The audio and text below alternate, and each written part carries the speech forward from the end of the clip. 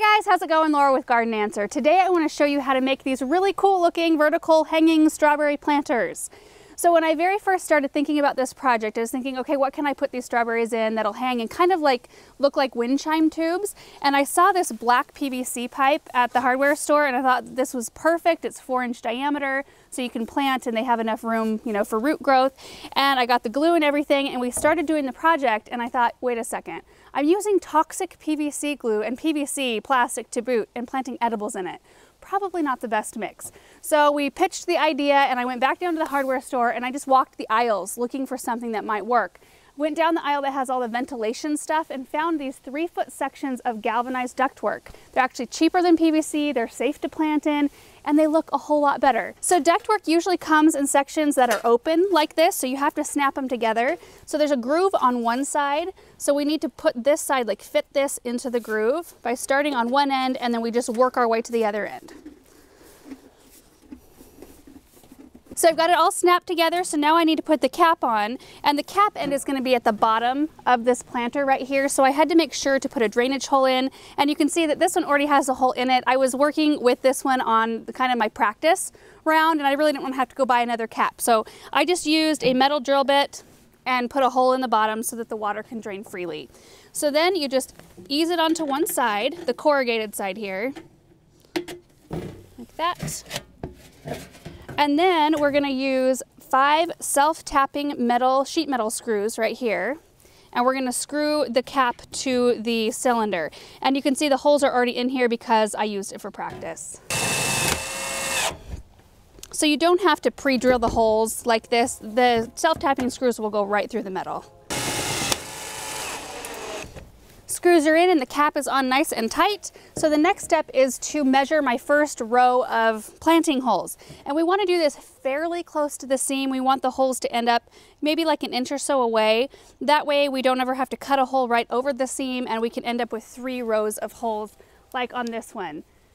You can see that there's plenty of space so that the seam, it stays together, but it allowed us to get three rows. This was my practice one.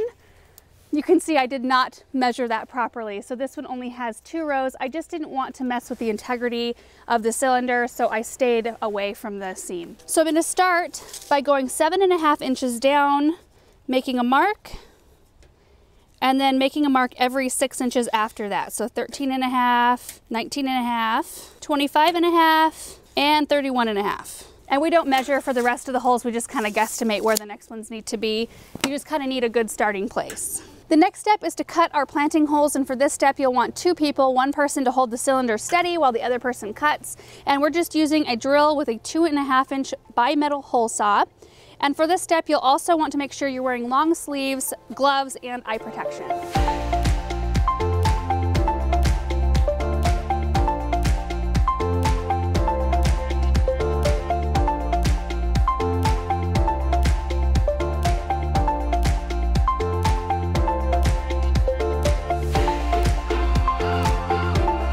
So this is what it looks like when you're all done cutting your planting holes. There are 15 total, 16 including the top.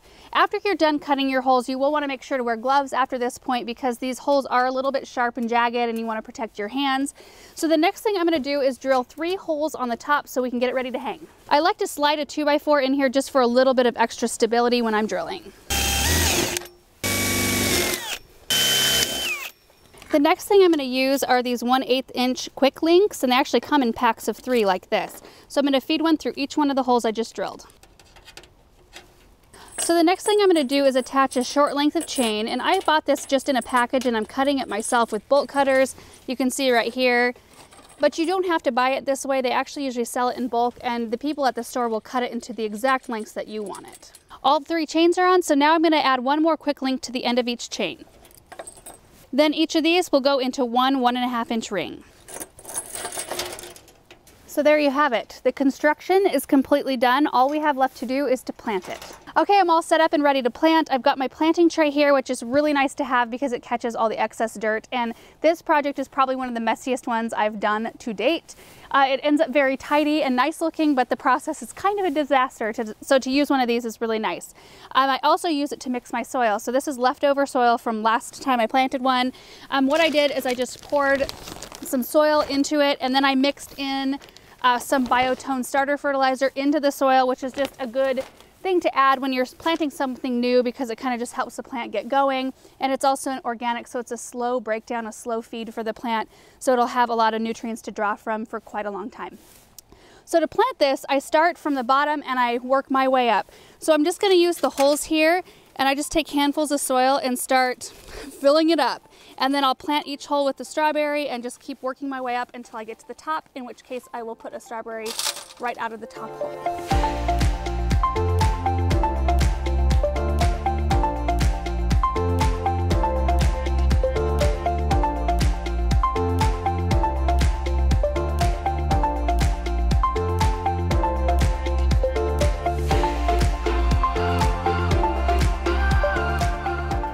Told you it's a super messy project, but I got all the strawberries in there. I had one strawberry to spare, which is amazing. I love it when that happens and I don't have to make an extra trip to the store.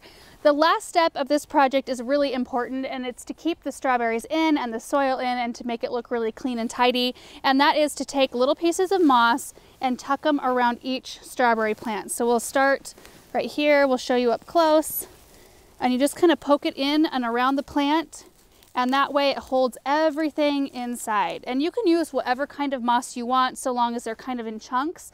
This is a SuperMoss preserved sheet moss. All right, it's all done and I think it turned out really, really good. I don't think I mentioned though what type of strawberries I used in the planter and I chose an everbearing variety um, because I think they're better suited for a planter like this. There's two different kinds you can get essentially, June bearing and uh, everbearing. June bearing strawberries bear all of their crop usually right around June and they're really good for people who like to harvest everything all at once. They're guaranteed a great big crop so they can freeze, make jam, that kind of thing. Everbearing varieties don't bear quite as much all at once but they bear all through the season. And that's kind of what I want from all of these planters. I want to put them somewhere where people can see them, where you can just pick them as they ripen throughout the whole season, have a little snack here or there. Um, so these are Quinault and Ozark Beauty. So I mixed two different everbearing varieties together in this container. And you can see that they're already starting to go for it. We've got blooms, we've got little strawberries forming. So watering on this is really pretty simple. You just water it from the top. You want to start by watering it in really gently um, with just a really slow trickle from a hose. These right here, I'm actually going to run drip to. So I'm to hook into our drip system. I'll run it up a beam and then over and down. So straight down from wherever it's hanging right to the top. Um, the dripper, like the zone usually runs for, you know, a good 30 minutes. So it'll be plenty of time for the water to start at the top and make it all the way to the bottom. And we do have a drain hole down there, so it's totally fine. Excess water will drain out. Um, and they will be in a spot that gets a good amount of morning sun. So I think it gets a good eight hour block, but it is protected from the really, really intense late afternoon, early evening sun, which I think is important when you've got something planted in a small container that's metal because this will get quite hot. So I think morning sun is more appropriate. So the last thing I have to do is just to hang it. And I'm using an S-hook right here. These are um, something you can find at your local garden center. They're great for hanging flower baskets and stuff like that. So I'm just gonna run it through the ring here. I'm gonna lift the whole planter down. And then I'm just gonna hang it from a beam on the pergola here. kind of had to make a little jump there. That's perfect. I love how they look. I actually really like that the whole project ended up needing to take a shift right from the very beginning away from black PVC and using the galvanized metal just looks a lot classier, I think, a little bit more upscale. Uh, and they do kind of resemble wind chimes a little bit more than black PVC. So anyway, hope you guys enjoyed this project and we will see you in the next video. Bye.